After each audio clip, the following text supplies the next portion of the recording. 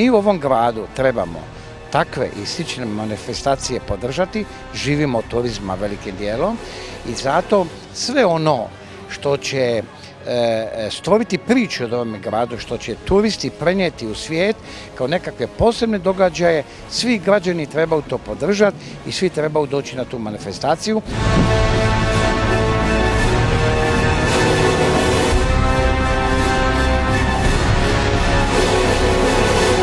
Pozivam sve sugrađane, sve građane da dođu na dane Djekleciana koji će se odviti od 20. do 24. kolovoza i u svakom slučaju to će biti jedan lijepi događaj, atraktivan, dovediti vašu djecu i ja mislim da ćemo uživati u lijepom programu koji su ljudi koji znaju to raditi vrlo vješto napravili. Znači, svi na dane Djekleciana.